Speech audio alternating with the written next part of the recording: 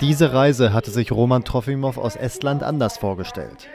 Vom 20. März bis zum 7. Juli saß er am Flughafen Manila fest. Grund waren die Reisebeschränkungen durch die Corona-Krise.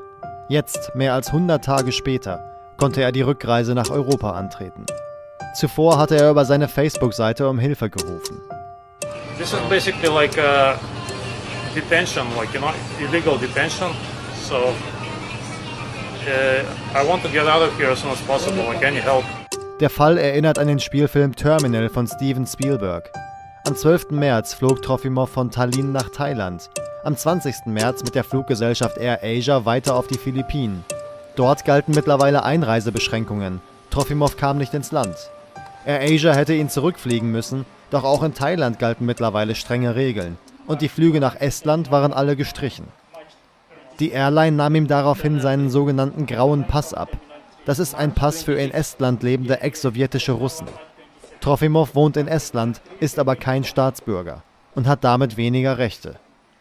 Die ersten Wochen musste sich der Mann ähnlich wie Tom Hanks im Film im Abflugbereich des Flughafens aufhalten.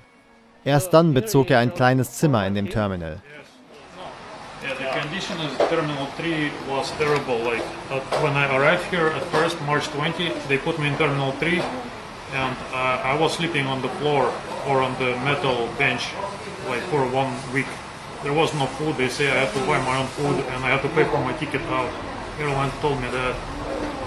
And only after I talked to my counselor of Estonia, the airline started to provide uh, food for me and then transfer us here on the April 1st, I think. Sein Hilferuf hatte schließlich schnell Erfolg. Nur vier Tage nach seinem Facebook-Post bestieg Trofimov ein Flugzeug nach Amsterdam. Dort ist er mittlerweile gelandet. Zurück nach Estland hat er es noch nicht ganz geschafft. In einem weiteren Facebook-Post zeigte er sich aber zuversichtlich.